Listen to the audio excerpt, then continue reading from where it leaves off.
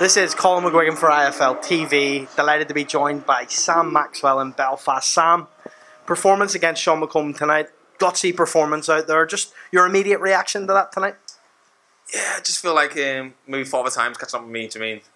Um, he's a great, not no disrespect to Sean, he's a great opponent. He boxed brilliantly, um, but I just feel like I, I was there in range, ready for, but I just couldn't let my hands go. I couldn't couldn't get that timing, couldn't get that um, my shots off, and um, yeah, I just think I'm getting old. It's getting old.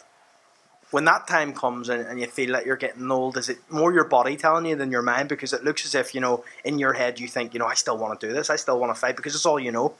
I feel like it's, it's the other way for me. Like all this week, I've been feeling great and I've had no excuses. There's the there's the brilliant camp. I'm prepared. I was fit. Done the ten rounds. Um, on the pads in the changes, I was feeling fast and strong. But um, when I got in there, I just couldn't couldn't get it off. And um, yeah, or no, my mind's my mind's I'm smart as well. I know I'm I'm got out the ring healthy. Get to see my son tomorrow, but I'm, Sean's not even a massive puncher, and I'm just getting dropped a few times by Sean. It's like it's a day, it's call it a day. You don't. I'm, I've got my health. Let's keep my health. You mean? So is that you officially saying that this is the end for Sam Maxwell? Let's say unofficially, but the, my smart head on says yeah, that's that's a day. My coaches, my friends, they're they're all they're all saying the same thing. They don't want to see me here, It's something like that. And um, I've had a great career to be proud of. So yeah, it could be. Yeah, I think it is. You have had a great career, some unbelievable nights for you. You know, thinking back to some of your victories, some of the times when you were rode off and you came through those.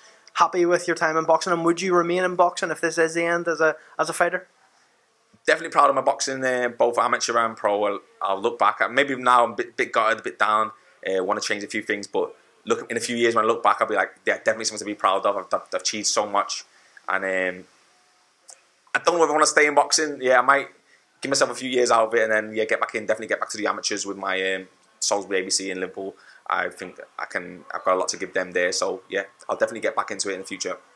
Just on, on Sean McComb tonight, how far do you think Sean can go? He's someone that showed obviously that the O in this sport doesn't really matter anymore. Took a tough loss against Gavin Gwynn and has now fought his way back. What do you think that Sean can do in the sport and compared to some of the people that you have fought recently, like the likes of Dalton Smith, for example? Yeah, and I know Sean in that loss as well. Um, it was probably the worst preparation he's ever had in his career. It's like I, I, I was on the same team as him, and we both went through it. It was like it, was hard for him, so that was not that wasn't Sean. And um, but against Dalton, yeah, he's a great boxer. Sean, he's he's slick, he's good mover. So it's a fight I'm very interested in, and um, I, I yeah, it's a it's a good it's a good fight. It just who turns up on the day, and um, I definitely rate Sean his ability to to get the win. But um, Dalton's also a great champion as well, so it's an exciting fight. Well, Sam, first of all, thank you for everything you've done for the sport, and also thank you for tonight for doing this Sometimes after a loss, you know, you can sulk and, and sit there, and it's very hard to do this. So, really, really appreciate on IFL TV, mate. Thank you. Cheers, Colm. Thanks. Thanks